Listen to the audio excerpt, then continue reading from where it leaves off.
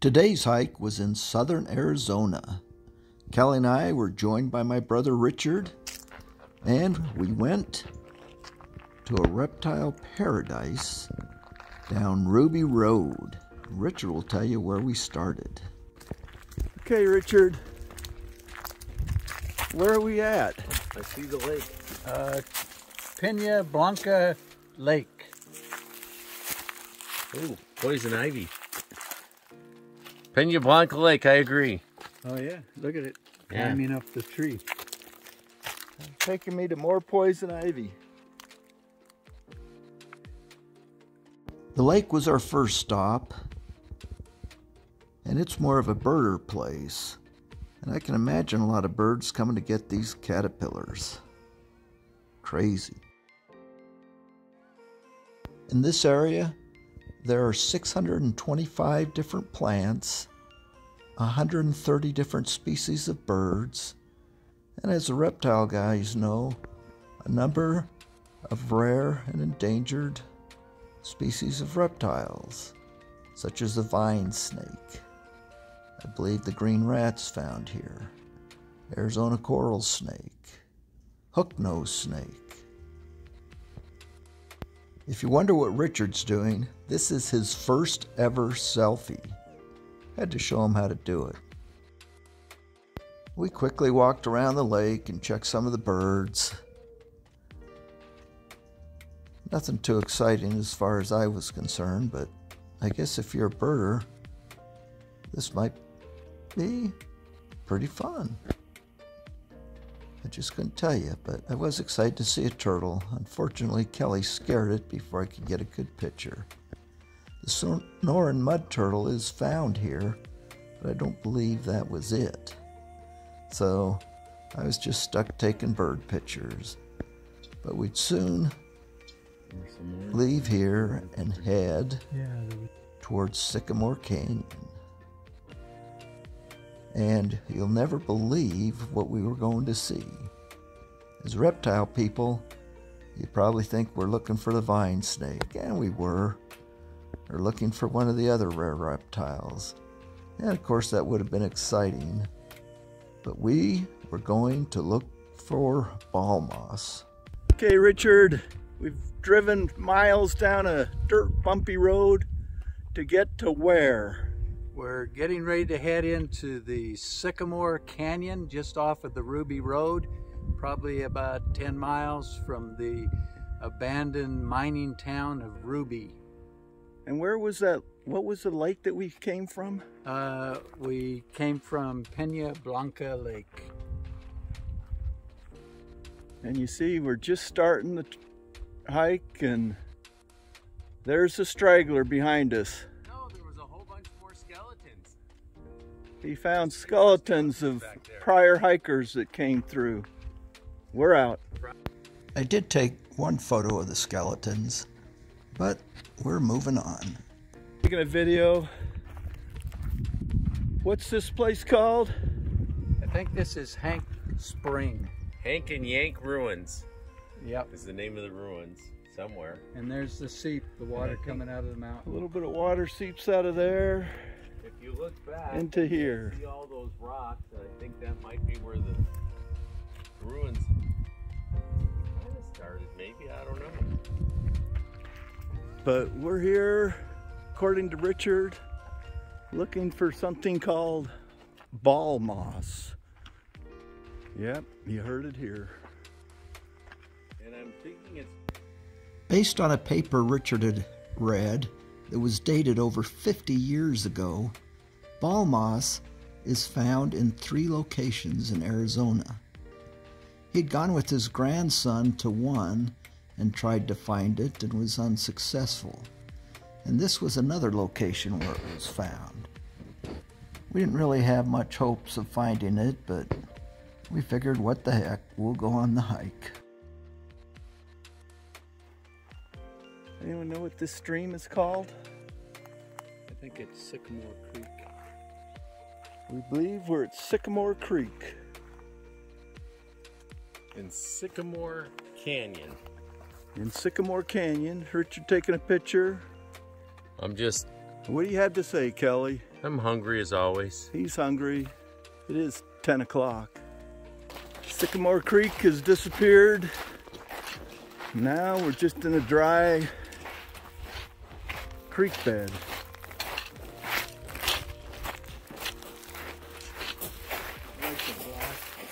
I do too, and the textures, all the texture of this rock. It's just pretty, pretty neat.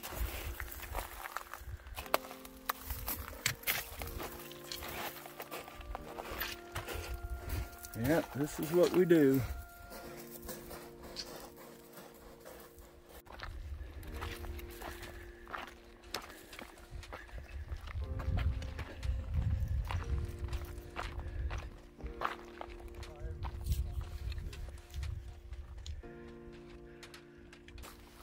Different terrain now. Sycamore Creek has popped back up. beautiful. Oh.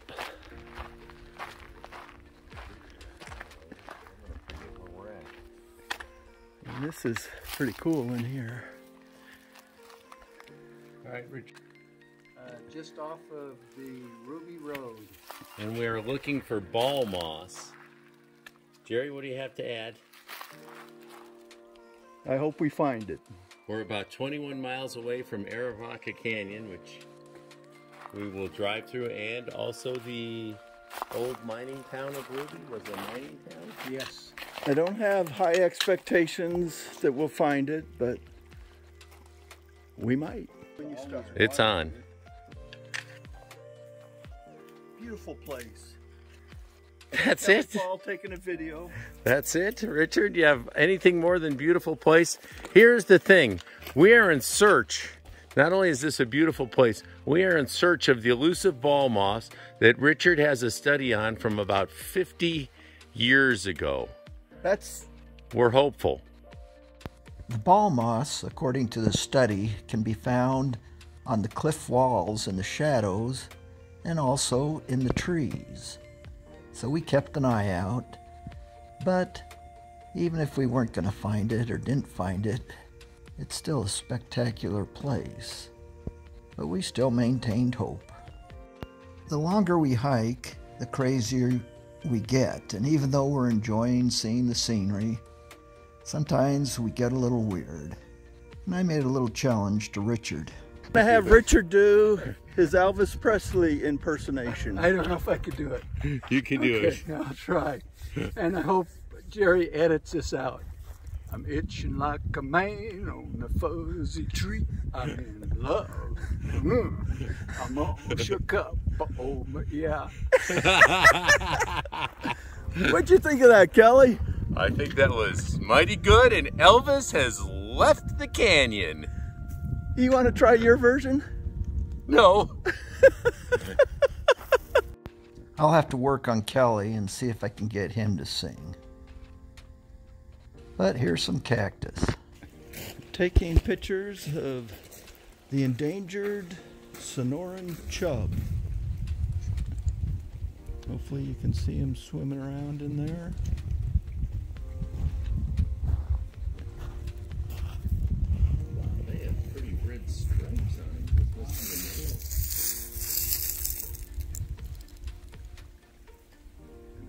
Goldish yellowish. Look at all the lichens just. Zoom in on these, Jerry. Orange colors. Just just spectacular. And then here's here's mosses in here. It's just just look at that. Kelly likes this moss stuff. I do. Lichens. Lichens. Beautiful. It's just, and it comes up so good on your camera. Those other cliffs. Yeah. Just spectacular. The lichens, the flowers, whatever this red stuff is, Oh, this feels good. but no ball moss yet. We've seen endangered fish, but no reptiles no ball moss. So just spending my time smelling the flowers. Actually, since COVID, I can't really smell much, but at least I'm looking at the flowers. And next, what we find? A cave.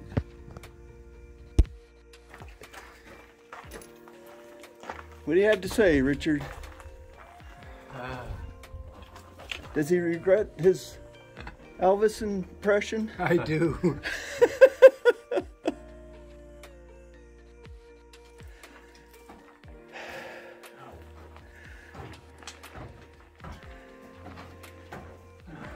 We found this other cave.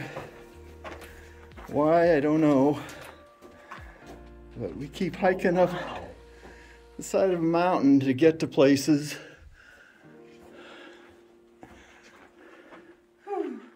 Would be Kelly Paul. We took plenty of pictures in the cave. A little cooler, enjoyed it.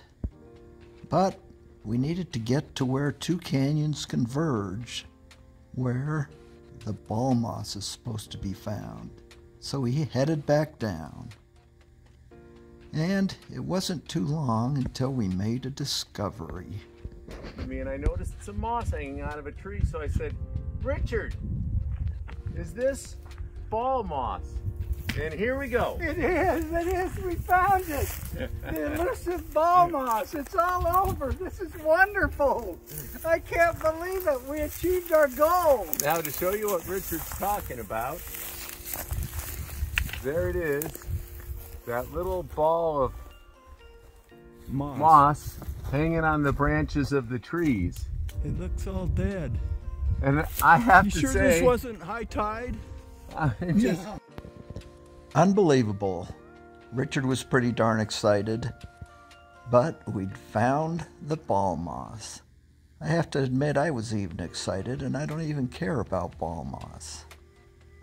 This one actually had a little flower stemming from it. It was pretty cool that we actually found this ball moss. The only places we saw it were on dead branches, never on a live tree, and we never saw it on the, the cliffs or rocks. Okay, what you're seeing here is the ball moss that we came to find. Richard read in a book about three locations in Arizona that have it, and we never expected we'd actually find it. But thanks to Kelly Paul, woohoo, we found it. Yeah, Kelly. Okay, Richard, what do you think?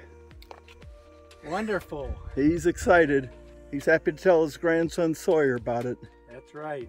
Stupid well, I stuff. mean, not, I mean, I didn't expect it to be here, and I really didn't expect it to be out here in the middle of Oh yeah, I the tree. We found our ball moss. We're really excited, but we're hot. And we've actually found a location where there's quite a bit of water. A swimming hole and a little little waterfall. Nice little slide rock area. Going past, Jared. I want to It was a cool little swimming hole, little waterfall, and slide into the pool. Unfortunately, we didn't go in, but still cool to see. The trees and the stream, and then when you get away from it, it's all just desert and rock, with the occasional flower but a cool spot to see. Richard's gotten so excited about our discovery that he's disappeared.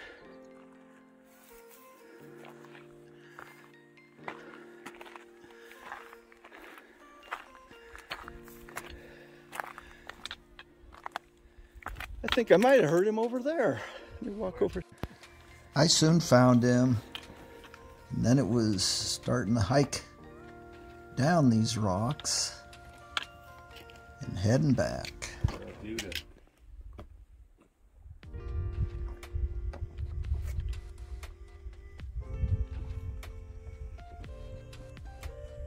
See that 70 year old guy scramble. Don't show me after Richard. It's going to be anticlimactic. We're only a few miles north of the Mexican border. And just as at Richard's house where he lives, in or near Sierra Vista, a lot of the immigrants come through the property. What we have here is a pack left probably by an undocumented alien. Uh, we used to find a lot of them in our yard in Hereford, and uh, we provided uh, packs for kids for school for quite a few years. At the height of the, shall we say, immigration in your area, how many people per day or month would come through your yard? The highest number that I estimated in one month was 400, Wow. 400 in a month. but we don't have much of a problem anymore. And is part of that because where the fence goes now that they're redirected to around the fence? Um, they kind of put a halt to the pickup location was in our yard or in the front at the front of our house and the sheriff's department posted a patrol car there and so the coyotes kind of lost interest in our location as a pickup point Oh, very cool. I like the story too of leaving the patrol car there and Yeah. people trying to turn themselves in. Yeah, they had a mannequin in the patrol car. And one morning I saw an undocumented alien uh, hiding in the grass. And finally he decided that no one was going to pick him up. So he went over to the patrol car to turn himself in and get a ride back uh, to the border. And he stared at that mannequin. He walked around the car a couple of times, shook his head, and headed back down to Mexico. And how far are we from the Mexican border here? Uh, right here, we're probably about three and a half miles, maybe four. I'm dead. Kelly's dead. I'm out. This is some of the ball moss that we passed coming up that we missed. So it's probably more of it around than we were aware of. This is ball moss. No, I mean it's it's not like there's you know there's a few on that other tree, a couple. There's a couple on this one. There's means there's somewhere. Video, Richard and Kelly. Someone tell me what this is. You tell that, Richard, and I'll do my reenactment of finding more. Okay, that's coral beans. He says it'll kill you. Yeah, you don't don't eat eat 'em. those. You don't want to eat them. And then up in the tree, It's all over. There, there, there, there, there. I will point to every spot. ball moss. Bam, bam. One, two, three. We found ball moss in several locations, or I should say several trees, as we were heading back.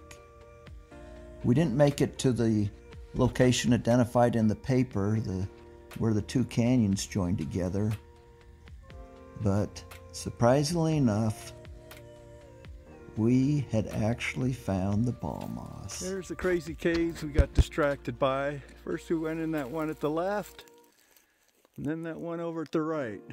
Yeah, well, we Richard's wife Lark made us a sack lunch that we're all sitting around in the shade enjoying, Living the life. living the life. We should be uh, hiking back because Lark's going to meet us, but nope. Okay, what do we have here? Oh no. I'm supposed to. Okay, I'll do it. I'll start it. We have a manzanita. And what that means in Spanish is little apple, and they have little edible berries. And then once again, that's Kelly Paul explaining. And Richard was here when we started that tradition. Here you do the uh, Elvis Presley. No. yes, we're ready. No. Come on, Kelly. I got a hug. No. Get it out of here. Leave me alone. Okay, Kelly wants to do this song, so No, he convinced that all three of us have to do it. A one, a two, a one, two, three. I'm itching like a man on a fuzzy tree. I'm in mm. love. Uh, uh I'm all shook up. Oh, uh, oh, oh, oh. Yeah, hey, hey. Thank you. Thank you very much. Thank you, maybe. If that wasn't bad enough, Kelly re explains his theory on tree rocks. In case you didn't believe me, my first video, there is a prime example of a tree pulling up rocks. Granted, it's not for shelter, it's not for shade, it's not for water, like I said, but that is a perfect example. I feel validated. Once he comes up with a theory, he sticks to it, whether he's right or wrong. That life finds a way. This tree growing up the side of this, bending out around, growing into the side, and up. We finished our hike, drove out past the town of Ruby, and our hike was done. Hope you enjoyed it. Bye.